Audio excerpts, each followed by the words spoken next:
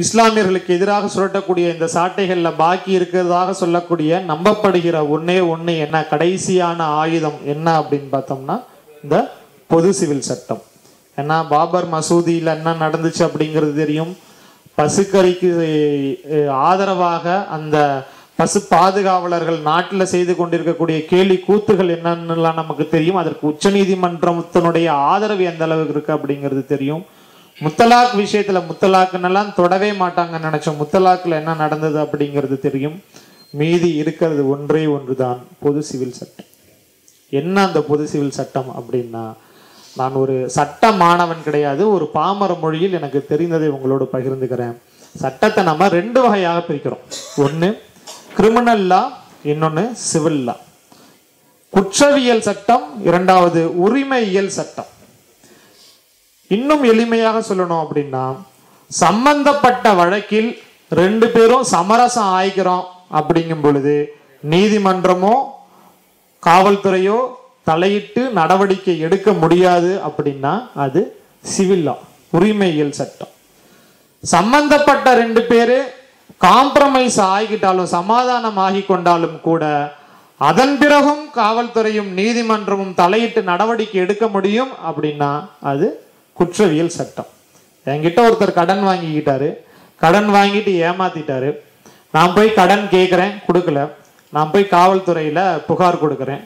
காவல்துறை அழைத்து விசாரிப்பதற்கு முன்பாக அவர் என்கிட்ட பேசி நம்ம சமாதானம் பேரில் நான் கடன் கொடுத்துறேன்னு சொல்கிறாருன்னு வைங்க. நான் போய் வழக்கை வாபஸ் வாங்கிக்க முடியும். காவல்துறை தண்டிக்க முடியாது. என் வீட்டில் இன்னொருத்தர் கொஞ்சம் இடத்த சேர்த்து காம்பவுண்ட் சுவர் கட்டிட்டாரு. இல்லை வேலி வச்சிடுறாங்க. சண்டை வருது. காவல்துறை வருதுங்கும் பொழுது நாங்கள் எங்களுக்குள்ளார பேசி சமாதானம் ஆயிக்கிறோம் அப்படின்னா சட்டம் அதில் தலையிட முடியாது. அது உரிமையியல் சட்டம் சிவில் லா இது வந்து சிவில் கேசஸ் குற்றவியல் சட்டம். சிக்னலில் ரெட் லைட் போட்டிருக்கிறாங்க. நிற்காம ஒருத்தன் போகும் பொழுது அவன் ஒரு அப்துல்லாவாக இருக்கட்டும். காவல்துறை பிடிக்குது. நீ யாரு? இஸ்லாமியனா? சரி உன்னுடைய குரான் என்ன சொல்லுது அப்படின்னு பார்ப்பானா? இல்லை ஒரு ஜோசப் போகட்டும். அவனுடைய பைபிள் என்ன சொல்லுதுன்னு கூப்பிட்ட காவல்துறை விசாரிக்குமா? யாராக இருந்தாலும் குற்றம் என்றால் குற்றம்தான். சட்டத்தின்படி ஐநூறுரூவா கட்டிட்டு போ அப்படின்னு சொல்லுவோம். இதில் சமாதானங்கிறதுக்கு வேலையே கிடையாது. இல்லை கொலை செஞ்சிடறான் ஒருத்தவன். கோட்ஸே காந்தியை சுட்டான். இப்போ கோட்ஸே குடும்பம் போய் அவங்க காந்தி குடும்பத்துக்கிட்ட சமாதானம் பேசுதுன்னு வைங்க. சரி பரவாயில்ல நம்ம சமாதானமாக போயிடலான்னே அவங்க ரெண்டு பேரும் பேசிக்கிட்டாலுமே சட்டம் இப்போ இருக்கிற அரசோட நீங்கள் ஒப்பிட்டு பார்க்காதீங்க. எழுதப்பட்டுள்ள சட்டத்தோட ஒப்பிட்டு பாருங்க. எழுதப்பட்டுள்ள சட்டம் என்ன சொல்லுதுன்னா அப்படிலாம் நீ சமாதானமாக போக முடியாது. அப்பவும் உனக்கு தண்டனை. அப்போ குற்றவியல் சட்டத்தை பொறுத்த வரைக்கும் அது எல்லாருக்கும் பொதுவானதாக இருக்கு. அதில் நீ இந்துவோ இஸ்லாமியனோ கிறிஸ்துவனோ கிராஸ் பெல்ட் போட்டிருக்கியோ போட்டுக்கலையோ அப்படிங்கிறதெல்லாம் பாகுபாடு கிடையாது. ஆனால் இந்த உரிமையல் சட்டத்தில் ஒரு சில பாகுபாடுகள் மட்டும் இருக்கு. இதுலயும் பாத்தீங்கன்னா கடன் வாங்கிட்டு ஏமாத்தினாங்க கோர்ட்டுக்கு போய் கேஸ் போட்டு வழக்கு நீதிமன்றத்துல வந்த பிறகு நீதிமன்றம் கேக்குது. என்ன தீர்ப்பு தரும்? ஒரு ஏழு வருஷம் வைங்க. ஏழு ஆண்டுகள் அவன் என்னுடைய கடனை தரல அப்படின்னா ஏழு ஆண்டுகளுக்கும் சேர்த்து வட்டியோட நீ கடன் அவங்கிட்ட கூட அப்படிங்க குரானை பொறுத்த வரைக்கும் நீங்க வட்டி கொடுப்பதோ வட்டி வாங்குவதோ கிடையாது. அந்த மார்க்கம் அதை அனுமதிப்பது கிடையாது. அப்போ ஒரு இஸ்லாமியனாக இருந்தால் என்னுடைய மதத்தின்படி நான் வட்டி கொடுக்க முடியாதுன்னு சொல்ல முடியாது. அப்ப அவன் கொடுத்துதான் ஆகணும். ஆக குற்றவியல் சட்டம் எல்லோருக்கும் பொதுவானது. உரிமையியல் சட்டமும் எல்லோருக்கும் பொதுவானது. நாலு கேட்டகரி தவிர. ஒன்று குடும்ப விவகாரம் திருமணம் சொத்துரிமை விவாகரத்து. இந்த நாளை தவிர மற்ற எல்லா விதத்திலுமே எல்லா சட்டமுமே பொதுவானதாக தான் இருக்கு. இந்த இங்கே வந்து பல்வேறு நம்மளுக்கு பிரிட்டிஷ்காரன் சுதந்திரம் கொடுக்கும் பொழுது நாம் வந்து ஒரே நாடாக கொடுக்கல. ஐம்பத்தி நாலு தேசங்களுக்கான ஒரு விடுதலையாக தான் கொடுத்தானுங்க. இப்போ அந்த ஒவ்வொரு இனக்குழுக்களுக்கும் ஒவ்வொரு வகையான பண்பாடுகள் பண்பாடு கூறுகள் திருமணம் செய்து கொள்ளக்கூடிய அந்த முறை அது சரியில்லைன்னா பிரிந்து செல்லக்கூடிய ஒரு முறை அப்படின்னு சொல்லிட்டு அவர்களுக்குள்ளார அந்த பண்பாட்டு கூறுகளை அங்கீகரிக்கும் விதமாக ரெண்டாவது இதுல சூதரனாக இருந்தாலும் அவர்கள் எல்லாம் இந்துக்கள் தான் சேர்த்து கொண்டதின் காரணமாக அந்த பெரும்பான்மை அதெல்லாம் சேர்த்து கொண்டதின் விளைவாக அதில் ஒரு சில எக்ஸெம்ஷன் மட்டும் வச்சாங்க. அதன் அடிப்படையில் தான் இப்போ இஸ்லாமியர்கள் வந்து முத்தலாக்குங்கிற ஒரு விஷயத்தை வச்சுருந்தாங்க. இன்னும் இவர்கள் தொடர்ந்து சொல்லக்கூடிய ஒரு குற்றச்சாட்டு என்னவாக இருக்குது அப்படின்னு சொன்னால் அந்த பலதார முறை அப்படின்னு எல்லாம் சொல்கிறாங்க அதையெல்லாம் தாண்டி இந்து மதத்தை பொறுத்த வரைக்கும் மனுஸ்மிருதியை பொறுத்த வரைக்கும் பூண்டு வெங்காயம் மாமிசம் சாப்பிட்டா அவர்கள் வந்து இந்துக்கள் கிடையாது. அது வந்து பார்ப்பனர்களுக்கு. இவர்கள் சொல்லக்கூடிய மனுஸ்மிருதியா இருக்கட்டும் இல்ல கருட புராணமாக இருக்கட்டும் இல்ல கந்த புராணமாக இருக்கட்டும் ஹரிபுராணமாக இருக்கட்டும் இவை எல்லாம் சொல்லுவது என்ன? பூண்டு வெங்காயம் மாமிசம் சாப்பிட்டால் அவர்கள் பார்ப்பன தன்மையை இழந்து ஜாதி அற்றவர்களாக அவுட்காஸ்ட் ஆயிடுவாங்க. பார்ப்பனிய தன்மையை இழப்பதும் செத்து போய் பிணமாக இருப்பதும் ஒண்ணுதான் அப்படின்னு சொல்லிட்டு மனுஸ்மிருதி சொல்லுது. ஆக அதனாலதான் நம்ம மாமி நிர் நிர்மலா சீதாராமன் என்ன சொன்னாங்க நானு? பூண்டு வெங்காயம் சாப்பிடாத குடும்பத்துலேருந்து வந்தாங்க அப்படின்னு சொன்னா அது அவர்களுடைய குடும்ப பெருமையை சொல்வதல்ல அந்த ஜாதி திமிர்னுடைய ஆணவத்தினுடைய வெளிப்பாடாக சொல்வது. இப்போ நாங்கள் மூணு வேளையும் பூண்டு வெங்காயம் சேர்த்துக்கிறோம். எங்களுக்கு கவுச்சு இல்லாமல் இருக்க முடியாது. இன்னும் மாட்டு கறி இல்லாத எங்களால் வாழ முடியாது. நீ எங்களையும் எப்படி சேர்த்துக்கிற அப்படின்னு சொன்னால் ஆயிரத்தி தொள்ளாயிரத்தி அறுபத்தி ஏழில் உச்சநீதிமன்ற தீர்ப்பு என்ன சொல்லுது அப்படின்னா இப்படி எல்லாரும் ஒன்று ஒன்று சொல்லி பிச்சுக்கிட்டு போயிட்டானுங்கன்னா இந்துக்கள்னு ஒன்று இல்லாத போயிடும் அப்படிங்கிறதுக்காக இந்த உச்சநீதிமன்றம் உச்சக்குடுமி நீதிமன்றம் என்ன சொல்லியிருக்கு? நீ உண்ணத்தகாதவற்றை உண்டாலும் கூட எப்படி? உண்ணத்தகாதவற்றை உண்டாலும் கூட நீ வந்து நாத்திகனாக இருந்தாலும் இந்து குடும்பத்தில் நீ பிறந்துட்டீன்னா நீ இந்து தான் பலாத்காரமான முறையில் நம்மளை வந்து இந்துன்னு சொல்லி இந்த இந்திய அரசியலமைப்பு சட்டம் சொல்லி வச்சிருக்குது. எல்லாம் பல பல கு- போராட்டினாங்க. டே நாங்கள் இந்துக்கள் இல்லைடா எங்களை விட்டுடா அப்படின்னா அதெல்லாம் முடியாது. நான் சொல்லிட்டேன் நீ இந்துக்கள் தான் அப்படின்னு சொல்லியிருந்தாங்க. அந்த வகையில் இவர்கள் இந்த இந்துக்களாக சேர்த்து கொண்டு தொடர்ந்து இப்போ அவங்க சொல்லக்கூடியது என்ன அப்படின்னா இந்த முத்தலாக் விஷயத்தில் அவர்கள் சொன்னது என்ன? முஸ்லீம்லாம் நாலு பொண்டாட்டி கட்டிக்கிறான். வேணான்னா தலாக் தலாக் தலாக்னு சொன்னால் அவன்லாம் வந்து கோர்ட்டுக்கு போக தேவையில்ல. ஆனால் அது அந்த வசதி நம்மளுக்கு இல்லை. இவங்களுடைய வருத்தம் எவ்வளோ புண்ணிய கண்ணியமானதாக இருக்கு பாருங்க. அவன் நாலு பொண்டாட்டி கட்டிக்கிறான் ஈஸியாக வந்து அறுத்து விட்டுறான். ஆனால் அது என்னால் பண்ண முடியல அப்படிங்கிற ஒரு பச்சை அயோக்கியத்தனமான பொய் பிரச்சாரத்தை யார்கிட்ட கொண்டு போய் வச்சான்? அதனால பாதிக்கப்படக்கூடிய அந்த இஸ்லாம் சமூகத்தை சார்ந்த பெண்கள் கிட்ட வச்சாங்களா? பாரதிய ஜனதா எந்த வகையிலும் நாங்கள் தங்களுக்கு நன்மை பயக்காது அப்படிங்கிறதை அல்லது நன்மை செய்யும் அப்படிங்கிறதை ஏற்காத இஸ்லாமிய பெண்கள் அவர்கள் ஒரு புறம் இருந்தாலும் கூட இந்த திட்டமிட்ட விஷம பிரச்சாரம் யார்கிட்ட கொண்டு போய் வச்சாங்கன்னா எந்த வகையிலுமே உரிமை இல்லாத இந்து சமுதாய ஆண்கள்கிட்ட கொண்டு போய் இந்த பாரதிய ஜனதா தன்னுடைய பிரச்சாரத்தை வைக்குது அப்படின்னு சொன்னா இதனுடைய நோக்கம் என்ன? எதற்கு யாருக்கு எதிராக இவர்கள் இந்த ஆண்களை அல்லது அந்த இந்த சமுதாய மக்களை அணிதிரட்டுகிறார்கள் இது ஒரு புறம் இருக்கட்டும். இதே உச்சநீதிமன்றம் ஒரு தீர்ப்பு இருக்குது. என்ன தீர்ப்பு அப்படின்னா இரண்டு பெண்களை மணந்து கொண்ட ஒரு ஆண் அந்த ஒரு ரெண்டு மனைவிகள்லாம் ஒரு மனைவி கோர்ட்டுக்கு போறாங்க அப்படிங்கும் பொழுது கோர்ட்டுக்கு போய் வழக்கு தொடுக்கிறாங்கன்னா அந்த ஆண் தன் இரண்டாவதாக அந்த செய்து கொண்ட திருமணத்திற்கு ஆதாரம் கொடுக்கணும். ஆதாரம் என்ன? நீங்கள் எவ்வளோ ஆதாரம் கொடுத்தாலும் அக்னி குண்டத்தை வளர்த்து ஏழு முறை சுற்றி வரக்கூடிய அந்த சப்தமி அப்படிங்கக்கூடிய அந்த சடங்கு செஞ்சு செய்யலை அப்படிங்கிறத அந்த கணவன் நிரூபிச்சிட்டான் அப்படின்னா க- கையை பிடிச்சிட்டு அந்த வ- யாக குண்டத்தை சுற்றி நடந்து வராங்கல்ல ஏழு அடி வைக்கணும். அப்படி வர அது அந்த சடங்கு செய்யல அப்படின்னா நீங்கள் எவ்வளோ பெரிய புரோகிதர் வச்சுருந்தாலும் எவ்வளவு சடங்குகள் செய்திருந்தாலும் அருந்ததி நட்சத்திரத்தை பார்த்துருந்தாலும் முப்பத்து முக்கோடி தேவர்களும் சாட்சியாக நீங்கள் கூட்டு வந்து அதை தானே சாட்சியாக வச்சு கல்யாணம் பண்ணுறானுங்க முப்பத்து முக்கோடி தேவர்கள் தெரியுறாங்களா? தெரியுதுன்னு சொன்னால் தெரியுதுன்னு சொல்லுமா அப்படிம்பா அருந்த சீலிங் மண்டபத்துக்குள்ளே இருந்த அருந்ததி நட்சத்திரம் தெரியுதா? அப்பாவி பொண்ணாக இருந்துச்சுன்னா எங்கெங்க தெரியுது? தெரிஞ்சுதுன்னு சொல்லு அப்படிம்பா அதெல்லாம் நீங்கள் சாட்சிக்கு கூட்டு வந்தாலுமே கூட இந்த திருமணம் செல்லாது அப்படின்னு இதே உச்ச நீதிமன்றம் சொல்லியிருக்கு. இதை பற்றி பேசுவதற்கு யோகிதை இல்லாத பார்ப்பனர்கள் தான் இஸ்லாமிய சமுதாயத்தில் இருக்கக்கூடிய பெண்கள் முத்தலாக்கால பாதிக்கப்படுறாங்க அப்படின்னு நீலி கண்ணீர் வடிச்சாங்க. அதனுடைய அந்த பொய் பிரச்சாரம் அவர்களுக்கு இருக்கக்கூடிய அந்த பெரும்பான்மை ஆட்சி மிருகபலம் இன்னைக்கு மிருக பலம்ங்கிறது வந்து நாடாளுமன்ற உறுப்பினர்களை தாண்டி இன்னைக்கு அவர்களோட கையில அமலாக்கத்துறை சிபிஐ இன்னைக்கு தேர்தல் கமிஷன் உச்சநீதிமன்றம் எல்லாமே அவர்களுடைய கூட்டணியில் இருப்பதனால அதனுடைய பெரும்பான்மையினுடைய திமிர்ல முத்தலாக்கை வந்து தூக்குனாங்க. இரண்டாவதாக அப்ப நம்ம முத்தலாக்கு பெண்கள் அவர்களுடைய பாதிப்பு அவர்களுடைய உரிமை பாதிக்கப்படுகிறதா? அதை பத்தி உங்களுக்கு கவலை இல்லையா அப்படின்னா கண்டிப்பாக கவலை இருக்குது. விவாதத்திற்கு எடுத்துக்கொண்டு பாதிக்கப்பட்டவர்கள் பேசி அவர்கள் தீர்வு காணணும். அதை சொல்றதுக்கு உங்களுக்கு எந்த யோகியதுமே கிடையாது. அந்த எக்ஸப்ஷன் எல்லாம் விட்டுட்டான். இந்து மதத்தில் இருக்கக்கூடிய எக்ஸெப்ஷன் எல்லாம் அவன் பேசவே கிடையாது. இன்னைக்கு நாம யாராவது நிர்வாணமா ரோட்ல நட- நடப்போமா? நடக்க முடியுமா? புத்தியுள்ள ஒருத்தர் யாராவது தன்னுடைய உடைகளை எல்லாம் களைந்து நிர்வாணமாக சாலையில் நடக்க முடியுமா? புத்தியுள்ள ஒருத்தர்.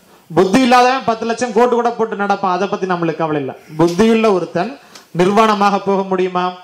போக முடியாது. ஆனால் ஜெயின் சமுதாயத்தை சேர்ந்த சாமியார்களுக்கு நிர்வாணமாக நாட்டில் எங்கு வேண்டுமானாலும் உளவி வரலாம்.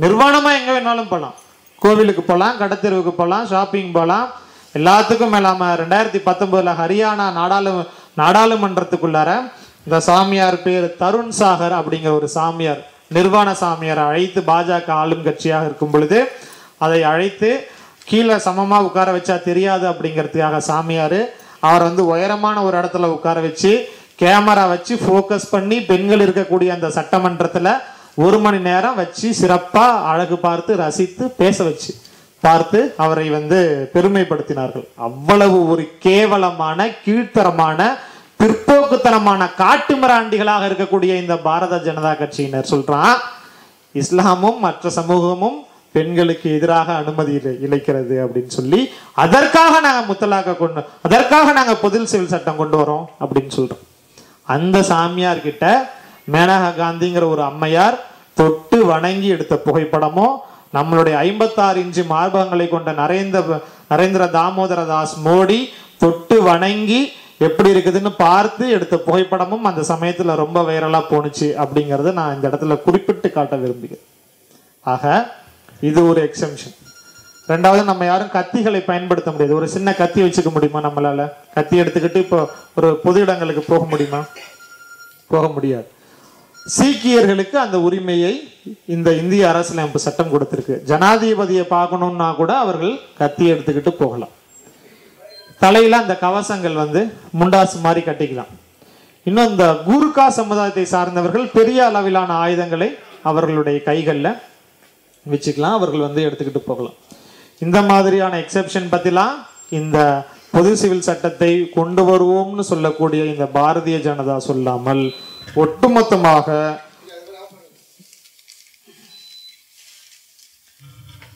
ஒட்டுமொத்தமாக என்ன சொல்லியிருக்குது அப்படின்னா இஸ்லாமியர்கள் இஸ்லாம் அவர் அதில் இருக்கக்கூடிய பெண்கள் இதற்காகவே நாங்கள் வந்து பொது சிவில் சட்டத்தை கொண்டு வரோம் அப்படின்னு சொல்லி இந்த சட்டத்தில் இருக்கக்கூடிய கீழ்த்தரமான கேவலமான அசிங்கங்கள் உள்ள கூறுகளை எல்லாம் நீக்குவதை மறுத்துவிட்டு ஒட்டுமொத்தமாக நாங்கள் பொது சிவில் சட்டம் கொண்டு வரோம் அப்படின்னு சொல்லிட்டு தொடர்ந்து வரலாற்று பழி தீர்ப்பதற்காகவே இவர்கள் இஸ்லாமை சீண்டி கொண்டுட்டு இருக்கிறாங்க.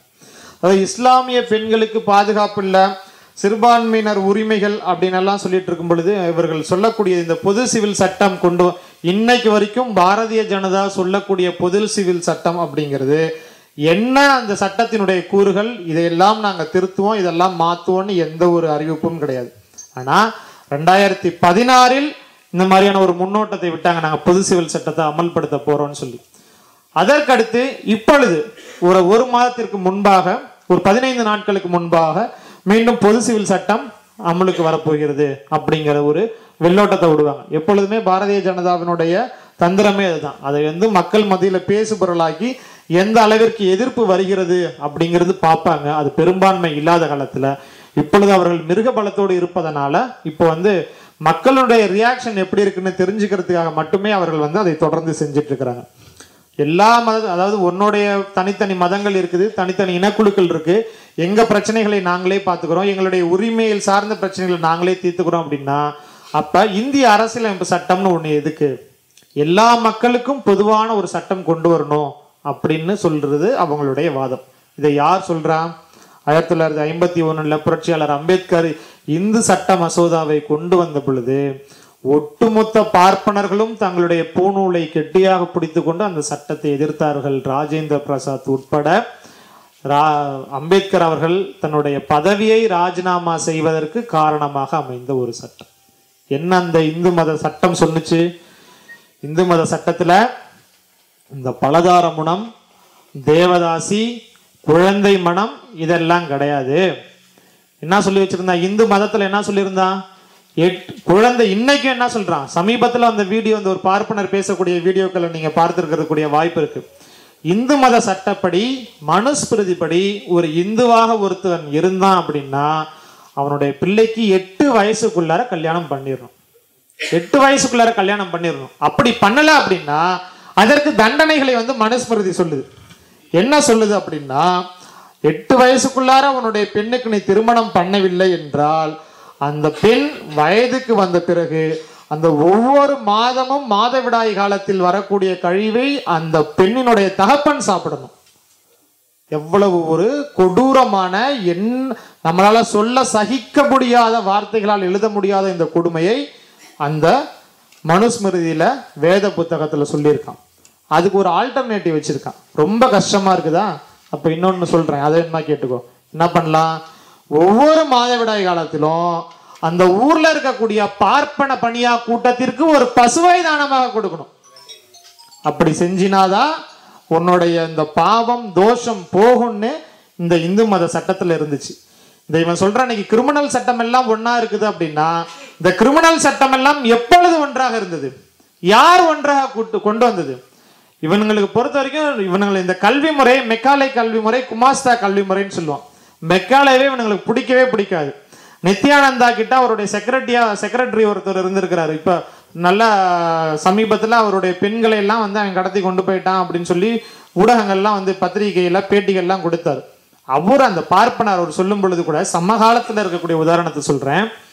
அவர் சொல்றாரு சாதாரணமான கல்வியை என்னுடைய பிள்ளைகளுக்கு கற்றுக் கொடுப்பது என்பது மெக்காலை கல்வி முறை கீழ்த்தரமான குமாஸ்தாவாக ஆக்கிவிடும். இப்ப சொல்றாரு ரெண்டாயிரத்தி பத்தொன்பதினுடைய இறுதியில சொல்றாரு குமாஸ்தாவாக ஆக்கிவிடும் என்பதால் உயர்தரமான இந்து மத வேதங்களை சொல்லி கொடுக்கக்கூடிய நித்யானந்தாவினுடைய ஆசிரமத்துல கொண்டு போய் சேர்த்தேங்கிறாரு. அவன் சொல்லி கொடுத்து கூட்டு போயிட்டான் அவங்களும் போயிட்டாங்க அது வேற விஷயம் வைங்க. இப்ப ஏன் இந்த பார்ப்பனர்களுக்கு இந்த மெக்காலேவை பிடிக்கல அப்படின்னு சொன்னா இந்த கல்வி முறையை கொண்டு வந்தாரு அப்படிங்கிறதுனாலயா அப்படின்னா அதுவும் ஒரு காரணம். மிக முக்கியமான முதன்மையான காரணம் என்ன அப்படின்னா இவர்கள் மனுஸ்மிருதி பிரகாரம் இருந்த இந்த கிரிமினல் சட்டத்தை எல்லாருக்கும் பொதுவான ஒரு சட்டமாக கொண்டு வந்தது மெக்காலே. அதனால தான் அவனுக்கு பிடிக்கல. ஏன்? ஒரு சாதாரண ஒரு குற்றத்தை செய்தால் திருட்டு திருட்டு போன்ற ஒரு குற்றத்தை செஞ்சுட்டா என்ன பண்ணணும்? ஒரு பார்ப்பனராக இருந்தால் ஒரு கோவிலில் போய் குளத்துல குளிச்சுட்டு நான் செஞ்சது தப்புன்னு நினச்சிட்டா அவருடைய பாவம் போயிடுது. அதே பார்ப்பன அல்லாத ஒருத்தன் செஞ்சுட்டான்னு என்ன பண்ணணும்? நூத்தி எட்டு பொற்கிழிகள் செய்யணும். பொற்கிழிகள் செய்து கொலை குற்றத்துக்கு. நூத்தி எட்டு பொற்கிழிகள் செய்து அதை நூத்தி எட்டு பார்ப்பனர்களுக்கு கொண்டு போய் கொடுத்தாதான் அவனுடைய பாவம் போகும். பார்ப்பனர் அல்லாத ஒருத்தவன் நீதிமன்றத்துல போய் சொல்லும் பொழுது அவனுடைய வாதம் உண்மையா அப்படின்னு சொன்னு அதை ஏத்துக்கணும்னா நீ நம்ம படத்தங்கள்ல எல்லாம் பார்ப்போம். ஒரு புத்தகம் ஒன்று வச்சிருப்பானுங்க அது மேல நான் சொல்லுவதெல்லாம் சத்தியம் சத்தியத்தை தவிர வேற ஒன்றும் இல்லை உண்மை தவிர வேண்டு ஒன்றும் இல்லை அப்படின்னு சொல்லுவோம். அப்படி பார்ப்பனர்கள் மனுஸ்மிருதி என்ன சொல்லுது அப்படின்னா இரும்பு க பழுக்க காய்ச்சிய இரும்பு கம்பி அதை பிடிக்கணும். யாரு? பார்ப்பனர் அல்லாத ஒருவர் வ- வழக்குக்காக வந்து நீதிமன்றத்தில் நிற்கும் பொழுது அந்த ச நீதி கட்டி நிற்கும் பொழுது நான் பழுக்க காய்ச்சிய இரும்பு கம்பிகளை அழுத்தி பிடிக்கணும். பிடிக்கும் பொழுது அது சுடக்கூடாது அவனை. அப்படி இல்லையா? சுட்டுடுச்சா? இல்லை எனக்கு இன்னொரு வாய்ப்பு கொடுங்க அப்படின்னா நல்லா நீர்நிலைகளில் ஆழமான நீர்நிலைகளில் அவன் மூச்சு அடக்கிக்கிட்டு அவர்கள் சொல்லக்கூடிய நேரம் வரைக்கும் இருக்கணும். அப்படி அதுலேயும் அவன் வெளில வந்துட்டானா அவன் சொல்றது உண்மை அப்படின்னு நாங்கள் ஏற்றுக்குவோம் இப்படி சொல்றது இது மனுஸ்மிருதி சொன்னிச்சு. இந்த நிலை அவன் கண்டிப்பா பார்ப்பனர் பார்ப்பனர் அல்லாதார். ஒருத்தன் நீதிமன்றத்துக்கோ வழக்காடு மன்றத்துக்கோ வர்றான் அப்படின்னா பார்ப்பனையும் தலை தூக்கி இருந்த காலத்துல பார்ப்பனர்கள் அதிகாரத்தினுடைய உச்சியில பார்ப்பனர்கள் தான் எல்லாமுமாக சர்வமயமாக இருந்த காலத்துல எவனும் வரவே மாட்டான். ஏன்னா அவன் ஆண்டான் அடிமையாக இருக்கிறான். அதையும் தாண்டி ஒருத்தன் வரான்னா பார்ப்பானுக்கு எதிராக அவர்கள் பேசிவிடக்கூடாது அவனை கொன்றே தீர்க்கணும்னு வச்சிருந்த இந்த மனுஸ்மிருதி முறையை தூக்கி எறிந்தவன் மெக்காலே அனைவருக்குமான காமன் கிரிமினல் லாங்கிற ஒரு அமைப்பை கொண்டு வந்தவன் மெக்காலா ஆயிரத்தி எட்நூத்தி ஐம்பத்தி ஏழுகள். அதனால இவர்களுக்கு மெக்காலாவே அன்று முதல் இன்று வரைக்கும் பிடிக்காது. அப்படியாக இந்த பெண்களுக்கு இந்த பெண்களுக்கு சொத்தில் விதவை சொத்துல ச- ச- சரி பங்கு கொடுக்கணும். விதவை பெண்களாக இருந்தால் அவர்களுக்கு கணவன் பங்குல இருந்து கொடுக்கணும். இந்த குழந்தை திருமண முறை இருக்கக்கூடாது. பலதார முறை இருக்கக்கூடாதுன்னு. பெண்களுக்கான உரிமையை எல்லாம் மீட்டெடுக்கக்கூடிய சரத்துகளை அடிப்படையாக வைத்திருந்ததால அன்றைக்கு இருந்த ஒட்டுமொத்த பார்ப்பனர்களும் ஆயிரத்தி தொள்ளாயிரத்தி ஐம்பத்தி ஒண்ணுல புரட்சியாளர் அம்பேத்கர் அவர்கள் இந்து கோட் பில்லை கொண்டு வரும் பொழுது இங்க இருக்கக்கூடிய சங்கராச்சாரி உட்பட என்ன செய்தார்கள்னா அவங்க அக்ரஹாரத்தில் இருக்கக்கூடிய எல்லா பெண்களையும் திரட்டிக்கிட்டு போய் போராட்டம் நடத்தினாங்க. என்னன்னு? எங்களுக்கு சொத்துல சம பங்கு தேவையில்லை. இதையும் தாண்டி நாடாளுமன்றத்தை முற்றுகையிடக்கூடிய போராட்டங்களை எல்லாம் நடத்தினாங்க. இன்னைக்கும் என்ன நிலை? தமிழ்நாட்டை பொறுத்த வரைக்கும் திராவிட இயக்க ஆட்சி தந்தை பெரியார் பேரறிஞர் அண்ணா தலைவர் கலைஞரனுடைய இந்த பொற்கால ஆட்சியில் இந்தியாவிலேயே முதல் முறையாக பெண்களுக்கு சொத்தில் சரி பங்கு உரிமையை பெற்றுக் கொடுத்த தலைவர் நம்முடைய தலைவர் கலைஞர் அவர்கள். அதனுடைய நீட்சியாக இன்னைக்கு வெஸ்ட் பெங்கால்ல இருக்குது. இந்தி பேசக்கூடிய எந்த மாநிலங்கள்லயும் இன்னைக்கு சொத்துல சரி பங்கு கொடுக்கக்கூடிய உரிமை பெண்களுக்கு கிடையாது இன்றைக்கு வரைக்கும்.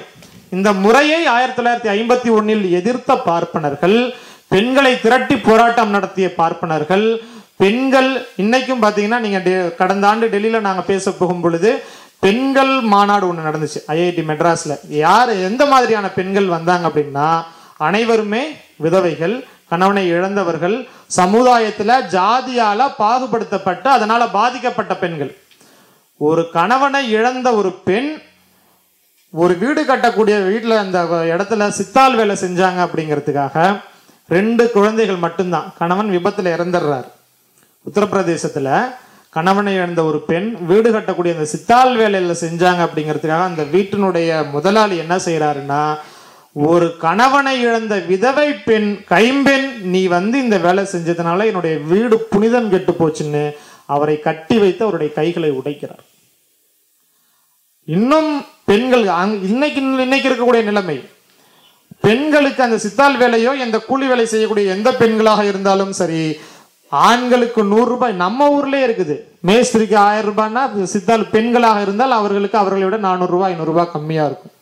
ஆனால் இன்னும் வட மாநிலங்களில் குறிப்பாக இந்தி பேசக்கூடிய மாநிலங்களில் ஐம்பது ரூபாய் ஐந்து ரூபாய் வரைக்கும் பெண்களுக்கு தினசரி கூலி.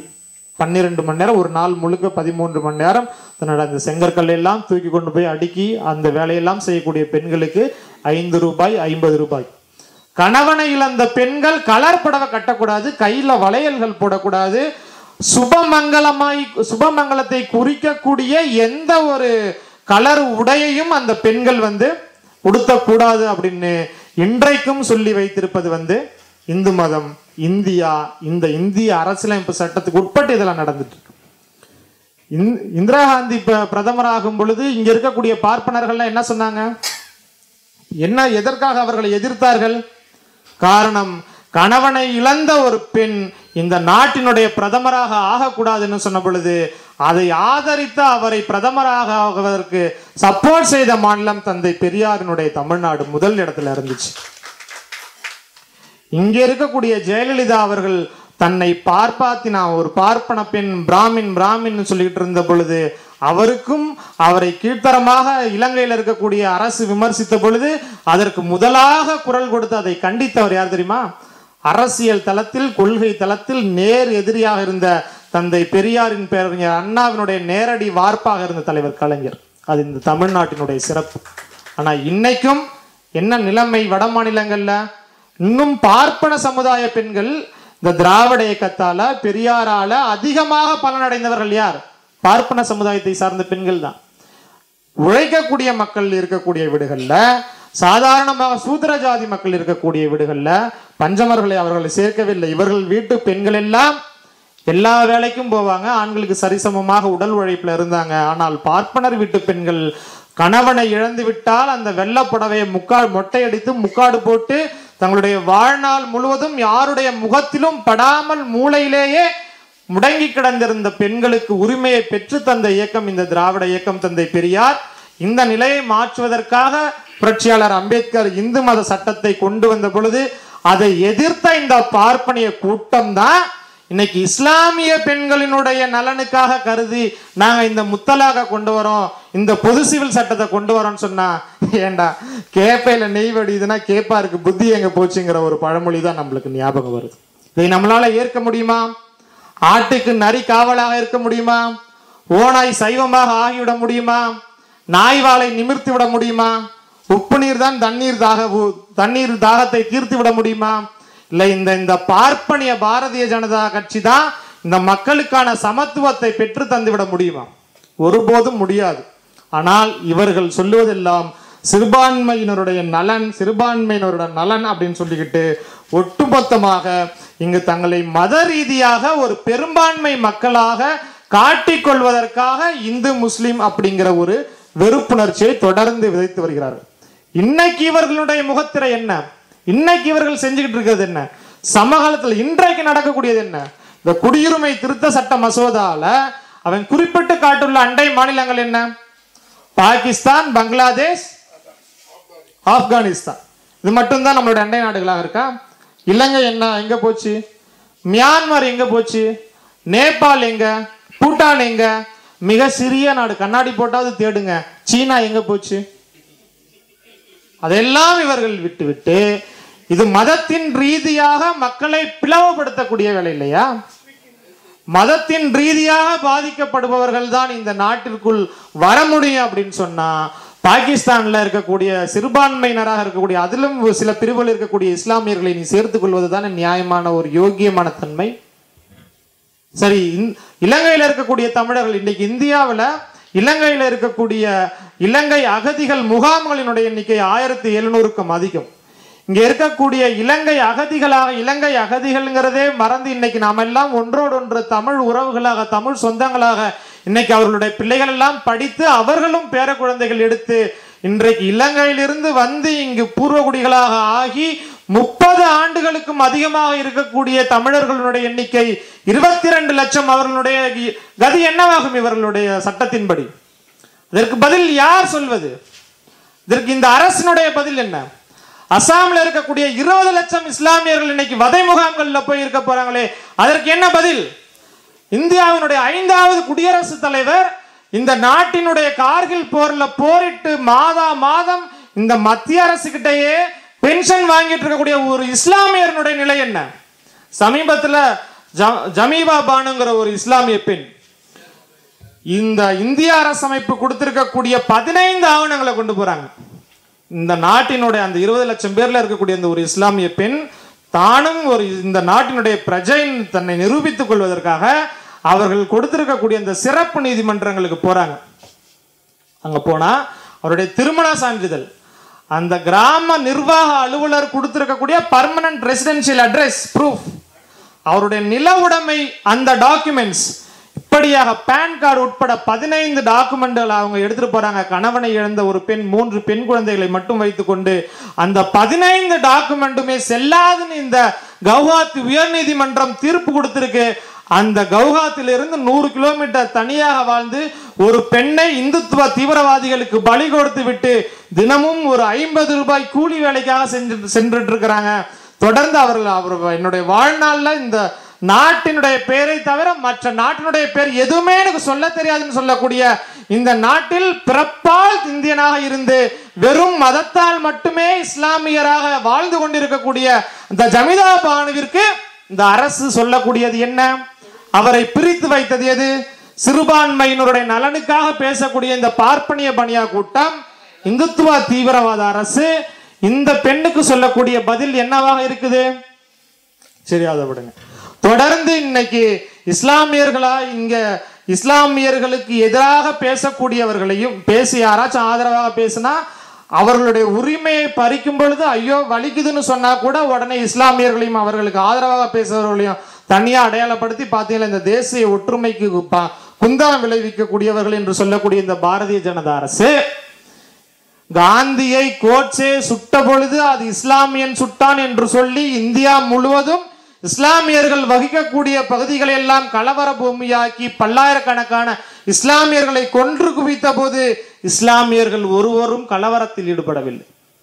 கோத்ரா ரயில் அரிப்பு சம்பவத்தில் கூண்டு கூண்டாக கொத்து கொத்தாக பெட்ரோல் ஊத்தி கொளுத்தி இஸ்லாமிய பெண்களை பாலியல் வன்புணர்வு செய்து அவர்களை ரத்தமும் சதையுமாக வெட்டி தூக்கி எறிந்த பொழுது ஒரு இஸ்லாமியன் கூட கையில் துப்பாக்கி எடுத்துக்கொண்டோ கடப்பாரை எடுத்துக்கொண்டோ எந்த கோவிலுக்குள்ளரும் எந்த பார்ப்பனனுடைய பூணுலையும் அறுக்கல அறுக்கல.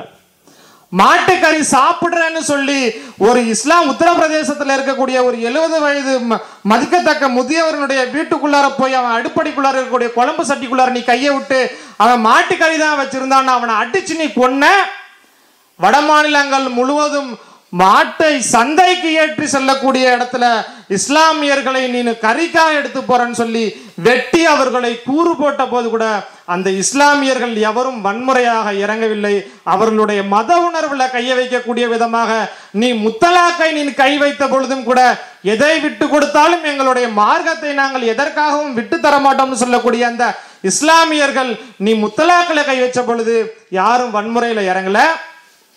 எல்லாவற்றிற்கும் மேலாக அவர்களுடைய வழிபாட்டு தலமாக இருக்கக்கூடிய பாபர் மஸ்ஜூத்தை நீங்க இடிச்ச போது அதை சட்டத்தின் வாயிலாக நீங்கள் அதை திருடி கபலீகரம் செய்து தங்களுடையதாக இன்னைக்கு நீங்க ஆக்கி கொண்ட பிறகும் கூட அன்றைக்கு நம் கண் முன்னாடி பார்த்த சம்பவம் ஒட்டுமொத்த நாடும் அமைதியாக இருந்ததா இல்லையா? இஸ்லாமியர்கள் அமைதியாக இருந்தார்களா இல்லையா? இந்த குடியுரிமை திருத்த சட்டத்தில் என்ன நடந்துட்டு இருக்குது? ஜாமியா மில்லியா பல்கலைக்கழகம். முஸ்லிம் அலிகர் பல்கலைக்கழகம் ஜேஎன்யூ பல்கலைக்கழகம் மாணவர்கள் அரசியல் புரிதல் உள்ள மாணவர்கள் இந்த ஆள்காட்டி சட்டத்தை வேண்டான்னு சொல்லி போராடிட்டு இருக்கும் பொழுது அந்த கல்லூரி வளாகத்திற்குள்ளாக கூடியிருந்த மாணவர்கள் மீது காவல்துறையை இந்த ஏவல் துறையை இந்த பாரதிய ஜனதா இந்துத்துவ தீவிரவாத அரசு ஏறிவிட்டு அங்கு போராடி கொண்டிருந்த மாணவர்கள் எல்லாம் குறிப்பாக தனித்தனியாக பிரித்து இஸ்லாமிய மாணவர்களை எல்லாம் தாக்கி அவர்களுடைய கண்களை பாழாக்கி அவர்களுடைய கைகளை எல்லாம் உடைத்து மண்டையை உடைத்து அவர்களுடைய எதிர்காலத்தை ஊனமாக்குனீங்க. பார்த்தோமா இல்லையா? நம்மளுடைய கண் முன்னாடி பார்த்தோமா இல்லையா? டெல்லியில ஷாஹின் பாத்ல என்ன நடந்துட்டு இருக்குது தொடர்ந்து நூறு நாட்களை எட்டிட்டு இருக்குது அற வழியில் போராட்டம் நடந்துட்டு இருக்குது தமிழகத்தில் என்ன நடந்துட்டு இருக்கு பாரதிய ஜனதா ஆளக்கூடிய அத்தனை மாநிலங்களிலும் இந்த குடியுரிமை திருத்த சட்டத்துக்கு எதிராக போராட்டங்கள் எல்லாம் மிக உச்சத்தை எட்டும் பொழுது எல்லா இடத்துலையுமே தடியடி எல்லா இடத்துலயுமே துப்பாக்கி சூடு எல்லா இடங்கள்லையுமே கலவரம். ஆனால் பதினைந்து லட்சத்துக்கும் அதிகமான தமிழர்கள் திராவிட முன்னேற்ற கழகத்தினுடைய எதிர்க்கட்சி தலைவராக இருக்கக்கூடிய திமுகவினுடைய எதிர்க்கட்சியினுடைய திமுக தலைவராக இருக்கக்கூடிய தளபதி அவர்களுடைய தலைமையில் இன்றைக்கு இருக்கக்கூடிய திராவிட இயக்கம் அதனை கருத்து ஒற்றுமை உள்ள கூட்டணி கட்சிகள் எல்லாம் சேர்ந்து பதினைஞ்சு லட்சம் பேரை சேர்த்துக்கிட்டு இன்னைக்கு தமிழகத்தினுடைய தலைநகரமா இருக்கக்கூடிய இந்த சென்னையில ஒரு மிகப்பெரிய பேரணியை நடத்தி காட்டினாங்களே. ஒரே ஒரு சிறு கலவரம். பாத்திர முடியுமா? காவல்துறை மிரட்டியதா இல்லையா? ஒட்டுமொத்தமான காவல்துறையையும் கொண்டு வந்து நிப்பாட்டி ட்ரோன்களை வச்சு நாங்க நாங்க கண்காணிக்கிறோம்னு சொல்லி அப்படியெல்லாம் இவர்கள் வன்முறையை காவல்துறையே இதையெல்லாம் அவர்களுடைய கைப்பாவையாக அடிமைகளாக அடிமைகளும் கேடுகட்ட அடிமையாக கேடுகட்ட அடிமைகளிலும் கேவலமான கொத்தடிமையாக இருக்கக்கூடிய இந்த எடப்பாடி பழனிசாமி தலைமையிலான அதிமுக அரசு பாஜகவினுடைய கால்களை நக்கி பழிச்சிட்டு இருக்கக்கூடிய இந்த அதிமுக அரசு இந்த கூட்டணி கட்சி திமுக தலைமையிலான பேரணியை எப்படியாவது சீர்குலைத்து தங்களுடைய முதலாளிகளுடைய குட்லிஸ்ட்ல இடம் பெறணும்னு அத்தனை காவல்துறைகளையும் கொண்டு வந்து நிறுத்திய பொழுது கூட ஒரே ஒரு சிறு கீறல் இந்த மக்களுக்கு நடந்துச்சா? ஆனால் பாரதிய ஜனதா நடத்த ஆளக்கூடிய மாநிலங்கள்ல இருக்கக்கூடிய இடங்கள்ல எல்லாம் கலவரம் நடக்குது அப்படின்னா காரணம் யார்? டெல்லியில இருக்கக்கூடிய இன்னைக்கு அந்த நேற்று நடந்த அந்த கலவர பூமியில மக்கள் வடகிழக்கு மாநில டெல்லி வடகிழக்கு பகுதிகளில் மா அவர்கள் மிகவும் அறவழியில போராடிட்டு இருக்கிறாங்க டெல்லியில இருக்கக்கூடிய அந்த நான் பாரதிய ஜனதாவினுடைய முன்னாள் சட்டமன்ற உறுப்பினர் கபில் மிஸ்ராங்கிறவன் என்ன பண்ணியிருக்கான்? இந்த இந்துத்துவ தீவிரவாதி ஆர்எஸ்எஸ் பாஜகவினரை எல்லாம் ஒன்றாக அழைத்து இதற்கு ஆதரவாக நாம் ஒரு போராட்டத்தை நடத்தணும். ஆதரவாக ஒரு போராட்டத்தை நடத்தணும்னா நீ யோக்கியமா எங்க நடத்திருந்திருக்கணும் வேற ஏதோ ஒரு இடத்துல பர்மிஷன் வாங்கி நடத்திருந்திருக்கணும் ஆனா இனி எங்க நடத்துனீங்க? எங்க ஆர்ப்பாட்டம் போராட்டம் சிஐஏ குடியுரிமை திருத்த சட்டம் என்பிஆர் என்ஆர்சிக்கு எதிராக நடந்துட்டு இருக்குதோ அந்த இடத்துல நீங்க ஆர்ப்பாட்டம் நடத்துனீங்க. அதனுடைய விளைவு என்ன?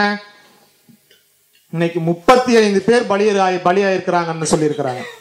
முப்பத்தி ஐந்து பேர் பலியா இருக்கிறதா சொல்லியிருக்கிறாங்க. நூற்றுக்கும் அதிகமானவர்கள் இன்னைக்கு மருத்துவமனையில மிக தீவிரமான பிரிவுல தீவிர சிகிச்சையில அனுமதிச்சிட்டு இருக்கிறாங்க வெறும் பத்தொன்பது வயது இளைஞரனுடைய தலையில ட்ரில் மிஷினை வச்சு அவனுடைய மரண தருவாயில போற வரைக்கும் அந்த ட்ரில் மிஷினுடைய பாகம் அவனுடைய மூளைக்கு அருகில் போயிருக்குதுன்னா அந்த அளவிற்கு தீவிரவாத வன்முறை வெறியாட்டத்தை நிகழ்த்தி காட்டியது யார்? இதுதான் குஜராத் மாடல். இதுதான் குஜராத் மாடல். மூன்று நாட்கள் நான்கு நாட்கள் கலவரம் நடக்கும். அவர்கள் எந்த நோக்கத்திற்காக எந்த எது எந்த எதை இலக்காக வைத்து அவர்கள் அந்த வன்முறை வெறியாட்டத்தை நிகழ்த்துகிறார்களோ அது நிகழ்ந்து முடியும் வரைக்கும் அந்த நெருப்பு தணியும் வரைக்கும் இவர்கள் கொன்று குவித்து இரத்த கரைகளை துடைத்துக் கொள்ளும் வரைக்கும் காவல்துறை நீதிமன்றம் அரசமைப்பின் அத்தனை துறைகளும் அத்தனை அமைப்புகளும் வாய் மூடி மௌனியாக இருக்கும். மூன்று நாளுக்கு பிறகுதானே உச்சநீதிமன்றம் கண்டனம் தெரிவிச்சுச்சு? ரெண்டு நாளைக்கு முன்னாடி எங்க போனுச்சு இதெல்லாம் மதத்தை வைத்து மக்களை பிளவுபடுத்தக்கூடிய வேலை இல்லையா? இந்த குடியுரிமை திருத்த சட்டம் இவர்கள் வந்து இந்த சிறுபான்மையினருக்கு ஆதரவாக நான் பேசுறேன். இந்த குடியுரிமை திருத்த சட்டம் வந்து இந்த மக்களுக்கு எதுவும் செ- இந்த நாட்டில் இருக்கக்கூடிய மக்களுக்கு எதுவும் செய்யாது. உங்களுக்கு எதுவும் பாதிப்பு இல்லை அப்படின்னு சொன்னா அதெல்லாம் நம்புறது நம்புறதுக்கு நம்ம என்ன மாட்டு மூத்திரத்தைய குடிச்சிட்டு இருக்கோம். அந்த காவிகள் மாதிரி களவாணிகள் மாதிரி. இவர்கள் சொல்லுகிறார்கள் பிரியாணி அண்டாவை கொண்டு போய் வச்சா திருடி தின்னுட்டு அதை திருடிட்டு போய் திங்கிற இந்த களவாணி பயிலுங்க கூட்டம் சொல்லுது. பொது சிவில் சட்டம் அடுத்து நாங்கள் கொண்டு வர இந்த நாட்டு மக்களினுடைய நன்மைக்காக இந்த நாட்டில் பல பல பிரிவுகளாக இருக்கக்கூடியதெல்லாம் நாம் பிரிச்சுட்டு ஒரே சட்டமாக நம்மளுடைய தேசியத்தை காப்பதற்காகன்னு சொன்னால் அது நம்ம ஏற்றுக்க முடியுமா? இன்னைக்கு நாம் சொன்னோம் இன்றோடு தொண்ணூற்றி ரெண்டு ஆண்டுகளாக அது சுயமரியாதை திருமண சட்டம் முடிந்து அப்படின்னு சொல்கிறோம் இன்னைக்கு முத்தலாக் முத்தலாக் அவங்களுக்கு சட்டம் போட்டு இது பண்ணியிருக்கிறாங்க. கிறிஸ்தவர்களுக்கான திருமண முறை இருக்குது. இஸ்லாமியர்களுக்கான திருமண முறை இருக்குது. இந்துக்கள்ல இந்து மத சட்டத்தின்படி எட்டு திருமண முறை இருக்குது. எட்டு வகையான திருமணங்கள் இருக்குது. அந்த எட்டு வகையான திருமணங்களை தாண்டி நம்ம சுயமரியாதை திருமணங்கள் இருக்குது. பழங்குடியினர் திருமண முறை இருக்குது. சைவ சைவம் பின்பற்றுபவர்களும் வைணவம் பின்பற்றுபவர்களுடைய திருமண திருமண முறை இருக்குது. வெறும் தீபத்தை மட்டும் வைத்து வழிபடுபவர்களுக்கென்று தனியான திருமண முறை இருக்குது. நரிக்குறவர்கள் உட்பட பழங்குடியினருக்கான தனித்துவமான திருமணம் இருக்குது. இது எல்லாத்தையும் இவன் நீக்கிட்டு நாளைக்கு நான் சொல்றதுதான் திருமண முறைன்னு சொல்ல மாட்டாங்கிறது என்ன நிச்சயம்? எப்பொருள் யார் யார் வாய் கேட்பனும் அப்பொருள் மெய்ப்பொருள் காண்பது அறிவுன்னு சொல்றது மாதிரி. நாம இவன் இன்னைக்கு ஒரு சட்டம் கொண்டு வரேன்னு சொல்றேன் அப்படின்னா அவன் எந்த மாதிரியான சட்டம் கொண்டு வருவான் அப்படிங்கிறது நமக்கு மிக நல்லாவே தெரியுமா தெரியாதா? அப்ப திராவிட இயக்கத்தை பொறுத்தவரை தந்தை பெரியாரை பின்பற்றுபவர்களை பொறுத்தவரை தந்தை பெரியாரே பல நேரங்களில் பேசியிருக்கிறாரு. பொதுவான சட்டம் எல்லாருக்கும் வேணும். காமன் சிவில் கோட் அப்படிங்கிறது தான் அதனுடைய அர்த்தம். வேணும் அப்படின்னு சொல்லியிருக்காங்கன்னா not in the context of BJP BJP பார்க்கக்கூடிய அந்த பார்வையில் இன்னைக்கும் இந்த பாரதிய ஜனதா இந்துத்துவவாதிகள் சொல்லுவது என்னன்னா இந்திய அரசியலமைப்பு ஆர்டிகிள் நாற்பத்தி நாலில் பொது சிவில் சட்டத்தை புரட்சியாளர் அம்பேத்கர் கொண்டு வரணும்னு சொல்லியிருக்கிறாருன்னு சொல்லியிருக்கிறாங்க. ஆனால் அம்பேத்கர் ஒருபோதும் பொது சிவில் சட்டத்தை கொண்டு வரணும்னு சொல்லல. அது வந்து வழி மாநிலங்களுக்கான வழிகாட்டும் நெறிமுறைகள்ங்கிற பத்தியில வருது. அதிலே தான் வருது ரைட் டு எஜுகேஷன் எல்லாருக்கும் கல்வியை கொடு. சட்டத்தின் முன் எல்லாரும் சமம். பாலின பாகுபாடு கூடாது. ஜாதி பாகுபாடு கூடாதுன்னு சொல்லியிருக்கு. இன்னைக்கு சட்டத்தின் முன்னாடி எல்லாரும் சமமா இருக்குமா? சாதாரணமாக இன்னைக்கு இன்னைக்கு வண்ணாரப்பேட்டையில் நடக்கக்கூடிய போராட்டத்தை இவர்கள் பின்வாங்கவில்லை என்றால் ஆயுதங்கள் வருவதற்கு முன்பு இங்கும் கலவர பூமியாக ஆகும்னு இன்னைக்கு எச்சிராஜாங்க ஒரு களவாணி பைய சொல்றான்னா அவனை கைது செய்வதற்கு இந்த அரசுக்கு யோகிதை இருக்குதா? இதே அந்த கிராஸ் பெல்ட் போட்டிருக்கக்கூடிய அந்த எஸ்வி சேகருங்கிறவன் இங்க இருக்கக்கூடிய ஒட்டுமொத்த பெண்களினையும் தரைக்குறவாக பேசிய பொழுது உயர்நீதிமன்றம் நீ போய் அவர்கள் எல்லாம் கைது செய்யு சொல்லும் பொழுதும் மயிலாடுதுறையில் நின்றுக்கிட்டு நான் இந்த மேடையில் தான் நிற்கிறேன்னு காவல்துறையோட பல்ல காமிச்சு சிரிச்ச அந்த பார்ப்பனிய கூட்டம் அவர்களை கைது செய்ய முடியாத இந்த க- எடப்பாடி அரசு இது நம்மளுக்கு இந்த இந்த சட்டம் சரியாக இருக்குதா? பாத்தி பாத்திமா லத்தீப் நம்ம ஐஐடி மெட்ராஸில் நம்மளுடைய மாணவி துடிக்க துடிக்க தூக்குல தொங்குனாங்க. தன்னுடைய சாவுக்கு காரணம் சுதர்சன பத்மநாபன் கூடிய அந்த பார்ப்பன பேராசிரியர்னு வா மரண வாக்குமூலம் எழுதி வச்சாரு. இன்னைக்கு வரைக்கும் என்ன நிலைமை? அவனை கைது செய்திருக்கிறதா இந்த காவல்துறை? சாமானிய மக்களுக்கு மத்தியில எளிய மக்களுக்கு மத்தியில உழைக்கக்கூடிய ஒடுக்கப்பட்ட மக்களுக்கு மத்தியில தன்னுடைய நெஞ்சை நிமிர்த்தி கொண்டு வரக்கூடிய காவல்துறையும் இந்திய அரசியலமைப்பு சட்டமும் இந்த ஐபிசிகளும் பூநூலை பார்த்தால் பாலை பார்த்த பூனைகள் போல பம்பி பதும்பி அவர்களுடைய காலில் சரணாகதி அடைவது தானே வழக்கமாக பார்த்துட்டு இருக்கோம். இவர்கள் மத்தியில இவர்கள் இந்திய அரசியலமைப்பு சட்டம் மதசார்பற்ற அரசமைப்பு சட்டம்னு இன்னைக்கு நம்ம நம்பிக்கிட்டு இருக்கக்கூடிய நேரத்தில் இந்த நாடு இந்திய ஜனநாயக நாடு ஜனநாயக பூர்வமான நாடு மக்களாட்சி முறையில தான் நடந்துட்டு இருக்குதுன்னு இன்னமும் நம்ம நம்பிட்டு இருக்கக்கூடிய வேலையிலேயே பார்ப்பனர்களுடைய ருத்ரதாண்டவம் இந்த மாதிரி இருக்கு அப்படின்னா காமன் சிவில் கோட் அப்படிங்கிறது வந்துச்சுன்னா எல்லோருக்கும் பொதுவான ஒரு சட்டம் அப்படின்னு சொன்னா அது எதை நோக்கி செல்லும் அப்படின்னா இந்த வர்ண கட்டமைப்பை மனுஸ்மிருதியை நோக்கி தான் சொல்லும். தந்தை பெரியார் எல்லாருக்கும் பொதுவான ஒரு சட்டம் வேண்டும் என்று சொன்னார்னா அந்த ம- ஒரு அரசமைப்புல அரசுல சட்டத்துல மதசார்பின்மை இருக்கக்கூடாது. எந்த ஒரு தனி மனிதனுடைய தனி மனித வாழ்க்கையினுடைய எந்த ஒரு உரிமையும் எந்த ஒரு மதமும் கட்டுப்படுத்தக்கூடாததாக இருக்கணும். சுதந்திரமாக இருக்கணும். அரசியல் தனி மதம் தனியாக இருக்கணும். அப்படியாக எந்த ஒரு மதமும் அந்த பெண்களையோ அந்த ஆண்களையோ அந்த மக்களையோ ஒடுக்கப்பட்ட மக்களையோ அவர்களை பாகுபடுத்துவதாக இருக்கக்கூடாத அளவிற்கு சமத்துவமான ஒரு சட்டம் வேணும்னு சொன்னாரு. அந்த சமயத்துல சொன்னாங்க மத சார்பற்றது அப்படின்னா எல்லா மதங்களையும் ஒரே போல பாவிக்கிறது தானே எங்க ஏன்னு சொல்லும் பொழுது தந்தை பெரியார் கேள்வி எழுப்பினாரு. எல்லா ஆண்களையும் தன்னுடைய கணவன்களாக நினைச்சிக்கிறது தான் பத்தினி தன்மை அப்படின்னு சொன்னா அது எவ்வளவு அயோக்கிய தன்மையோ அதே அளவுக்கு அயோக்கிய தன்மை தான் எல்லா மதமும் ஒரே மாதிரி பார்க்கணும் அப்படிங்கிறது. மதசார்பற்ற தன்மை அப்படின்னா அரசு சட்டம் இவை எதிலுமே மதம் கலக்காது தனித்துவமாக இருக்கணும். மதத்தினுடைய தலையீடு தனியாக இருக்கணும்னு சொல்றாங்க. ஆனா அத்வானி என்ன சொல்லியிருக்கிறாரு? அத்வானியுடைய சீடர்கள் என்ன சொல்லியிருக்கிறாங்க? மதத்தையும் அரசியலையும் தனியாக பிரித்தெடுக்க முடியாது. ரெண்டுத்தையுமே பிரிச்செடுத்தா அதனுடைய புனிதத்துவம் தனித்தன்மை குறைந்து விடும் அப்படின்னு சொல்லியிருக்கிறாங்க. ஆக இறுதியாக இந்த பொது சிவில் சட்டம் அப்படிங்கிறதாக இருக்கட்டும் இந்த பாரதிய ஜனதா அரசு அதாவது ஐயா தான் சொல்லுவார் நம்மளுடைய எதிரிகள் யாருன்னு நம்ம ரொம்ப கஷ்டப்பட்டு சிரமப்பட்டு கண்டுபிடிக்க வேண்டிய அவசியமே கிடையாது. இந்து பத்திரிகை பார்ப்பன பத்திரிகை யாரை ஆதரித்து எழுகிற எழுதுகிறதோ அவர்கள் எல்லாம் நம்முடைய கொள்கைக்கு எதிரானவர்கள்னு நீங்கள் கண்டுபிடிச்சுக்கோங்க அப்படின்னு சொன்னாங்க. மற்றபடி இந்த மக்களுக்கு நன்மை பயக்கக்கூடிய ஒரு அரசியல் கட்சியாக இருக்கும் அப்படின்னா எதுன்னா தமிழ் வார்த்தையில இருக்கக்கூடிய கட்சியினுடைய பெயர்கள். அது நாம் தமிழருங்கிறது மட்டும் இப்படி எக்ஸம்ஷன் அது விட்டுருங்க தமிழ் வார்த்தைகள்ல இருக்கக்கூடியதெல்லாம் தமிழ் மக்களுக்காக வந்தது அப்படின்னு சொன்னார். ரெண்டாவது திராவிடர் இயக்கத்தை பொறுத்த வரைக்கும் கொலீஜியம்ங்கிற ஒரு அமைப்பு முறையே வேண்டாம்னு நம்ம சொன்னோம். ஏன்னா உச்சநீதிமன்றத்தில் இருக்கக்கூடிய நீதிபதிகள் தங்களுக்கான நீதிபதியை தாங்களே தேர்வு செய்யக்கூடிய அந்த அமைப்பு முறையில் தனித்துவத்தன்மை வெளிப்படைத்தன்மை இல்லாதனால வேண்டாம்னு சொல்லியிருந்தோம். ஆனால் இந்த காலகட்டத்தில் அது கண்டிப்பாக நமக்கு தேவைப்படக்கூடிய ஒரு அமைப்பாக தான் இருந்துட்டுருக்கு. ஏன்னா நாம் எது சொன்னாலுமே அதில் வந்து நாம் எது சொன்னாலும் திராவிட இயக்கம் தந்தை பெரியாரை ஏற்றுக்கொண்ட பேரறிஞர் அண்ணாவை ஏற்றுக்கொண்ட நாம் எது செய்தாலும் குறிப்பாக நாம்ங்கிறது வந்து திராவிடர் கழகம் திராவிட முன்னேற்ற கழகம் அமித்ஷா திமுக கிடையாது. நாம் செய்வது மதசார்பற்றதாக இருக்கும் மக்களுடைய நலன் சார்ந்து இருக்கும் இந்த மக்களினுடைய முன்னேற்றத்தை ஒரு இன்ச்சாவது முன்னோக்கி செல்ல செலுத்தக்கூடியதாக இருக்கும்.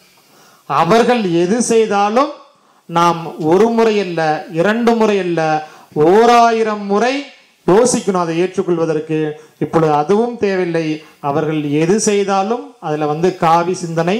அது இப்போ எல்லாமே ரெண்டாயிரத்தி இருபத்தி ஐந்தில் ஆர்எஸ்எஸ்னுடைய நூறாவது ஆண்டு விழாவின் போது போது இந்த இந்தியா முழுவதும் இந்திய துணைக்கண்டம் முழுவதும் இந்த காவி கொடி பறக்கணும். இந்த நாடு இந்தியா அப்படிங்கிறது வந்து இந்து ராஷ்டிரமாக ஆயிடணும். இந்தியா முழுவதும் சமஸ்கிருதம் தான் ஒரே மொழியாக இருக்க வேண்டும். இங்கே இருக்கக்கூடிய பண்டிகையாக ஹோலியும் தீபாவளி மட்டும்தான் இருக்கக்கூடிய இருக்கணும். இங்கே இருக்கக்கூடிய இந்துக்கள் அல்லாத மக்கள் அனைவரும் இந்த நாட்டில் இரண்டாம் தர குடிமக்களாக தங்களுக்கு எந்தவித உரிமையும் எழுப்ப முடியாத மக்களாக இருக்கணும்னு சொல்லியிருக்கிறாங்க. அதற்காக அவர்கள் வைத்திருக்கக்கூடிய இந்த எடப்பாடி உட்பட இந்த ராமதாஸ் உட்பட ஆண்ட ஜாதி பரம்பரை பேசுபவர்கள் உட்பட தமிழகத்தில் இருக்கக்கூடிய பார்ப்பனர்கள் உட்பட அனைவருக்கும் ஆபத்து காரணம் என்னன்னா அவர்கள் தமிழகத்தில் இருக்கிற யாரையும் பார்ப்பனர்களாக ஏத்துக்கிறதுக்கே தயாரா இல்லை. இந்தியாவை பொறுத்த வரைக்கும் இந்தி விந்திய மலைகளுக்கு அப்பால தென்னிந்தியாவில் இருக்கக்கூடியவர்கள் அனைவருமே சூதரர்கள் தான் இங்க இருக்கக்கூடிய பார்ப்பனர்கள் உட்பட ஆக இதே நிலை தொடருமேயானால் எடப்பாடி அரசு போன்ற இந்த எடுபுடிகள் எல்லாம் அவர்களுடைய கால்களுக்கு சேவகம் செய்வது தொடர்ந்து கொண்டே இருக்குமேயானால் இவர்களுடைய வெற்றி தற்காலிகமாக அமைந்தாலுமே கூட இரண்டாயிரம் மூவாயிரம் ஆண்டுகள் பின்னோக்கி நாம் இழ- இழுத்து செல்லப்படுவோம். நம்முடைய உரிமைகள் எல்லாம் அழிக்கப்படும். மீண்டும் நாம் போராடி எழுவதற்கு நம் தலைமுறை அல்ல அடுத்த தலைமுறை தேவைப்படும். ஆக ஒருபோதும் இந்த பார்ப்பன பணியா கூட்டம் முன்வைக்கக்கூடிய எந்த கோரிக்கைகளையும் நாம் ஏற்காமல் இந்த பாரதிய ஜனதா வைக்கக்கூடிய எந்த திட்டங்களையும் நாம் ஏற்காமல் ஓய்வும் சலிப்பும் தற்கொலைக்கு சமம் சொல்லக்கூடிய அந்த தந்தை பெரியாரினுடைய வரிகளை நாம் நினைவில் வச்சுக்கிட்டு வரலாற்றில் இந்த காலகட்டத்தை இந்த சமுதாயத்தை வருங்காலத்திற்கு நாம் பாதுகாப்பாக கொண்டு போய் சேர்க்க வேண்டியதற்கான போராட்டத்தை வரலாறு நம் கைகளில் கொடுத்துட்டு இருக்குது. ஆகையினால நாம் அனைவரும் கலைந்து செல்வோம் இல்லை எப்பொழுதும் போராடுவதற்கு தயாராக இருப்போம். வரும் காலம் மிகவும் கடினமான காலமாக இருக்கும். அரசியல் நெருக்கடி உள்ள காலமாக இருக்கும். இவ்வளவு நாள் நம்ம சாதாரணமாக காலையில் எழுந்திருச்சு நம்ம வேலைகளை செய்து செய்ய போயிட்டு இருப்போம் வேலைக்கு போயிட்டு வருவோம். அது போல நம்மளுடைய வேலைகளை எல்லாம் பார்க்க முடியாத அளவிற்கு நெருக்கடிகளை சந்திக்கக்கூடிய ஒரு மிக மோசமான காவி இருள் சூழ்ந்திருக்கக்கூடிய பாசிசம் நம்மளுடைய கழுத்தை நெரிக்கக்கூடிய சூழலில் இருக்கக்கூடிய நாம் தந்தை பெரியாரை பேரறிஞர் அண்ணாவை இந்த திராவிட இயக்கத்தை புரட்சியாளர் அம்பேத்கரை கையில் ஏந்தி கொண்டு ஓய்வும் சலிப்பும் இல்லாமல் இந்த இனத்திற்காக உழைக்க வேண்டிய மிக முக்கியமான தருணத்தில் இருக்கிறோம் என்பதை நினைவூட்டி வாய்ப்பளித்தமைக்கு நன்றி கூறி விடைபெறுகிறேன். நமது யூடியூப் தளத்தில் உள்ள வீடியோக்கள் அனைத்தும் கிரியேட்டிவ் காமன் என்கிற விதிப்படி பதிவேற்றம் செய்யப்பட்டவை. இதை நீங்கள் தரவிறக்கம் செய்து உங்கள் தேவைக்கு பயன்படுத்திக் கொள்ளலாம். அதற்கு காப்புரிமை அதாவது காப்பிரைட் தேவையில்லை. பாருங்கள் பகிருங்கள் பகுத்தறிவு ஒளியை பரவ செய்யுங்கள். நன்றி.